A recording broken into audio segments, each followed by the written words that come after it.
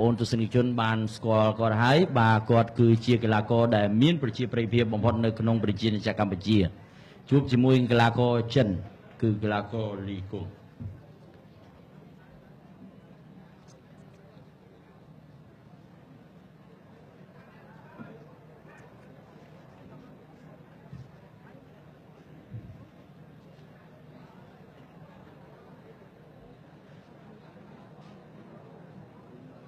ចក្រមត្រៀម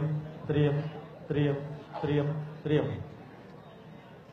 គោលត្រជាតិទី7ទឹកទី1បាទរីករាយទាំងអស់គ្នាក្នុងទឹកទី1នៃគូអន្តរជាតិទី7រវាងសែនរ៉ាឌីនិងលីកុងមកពីចិនបាទយ៉ាទល់មួយពីកីឡាករសែនរ៉ាឌីទល់មួយទៀតបាទ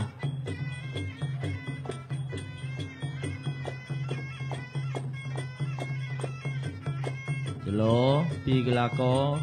បង្គោលខៀវទាត់ស្ដាំមួយជើងពីបង្គោលក្រហមទាត់ស្ដាំមួយជើងទៀត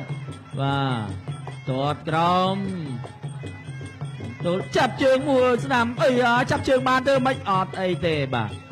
គ្រាន់តែធ្វើលេងលេងអោះស្ដាំមួយជើងមកមិនត្រូវទេទល់វីបង្គោលខៀវវិញ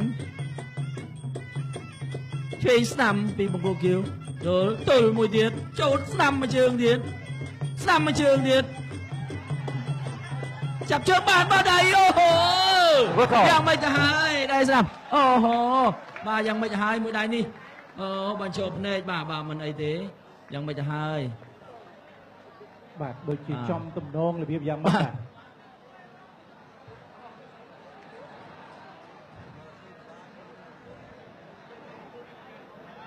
បាទមិនអីទេជាងអឺលោកគ្រូពេទ្យបាទគាត់ឡើងទៅពិនិត្យមើលគាត់ថាមិនអីទេបាទ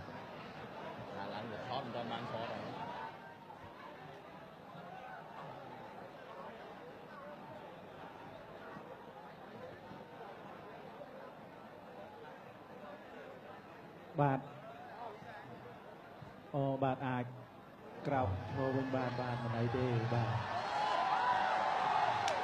បាទសម្រាប់ទឹកទី1បាទ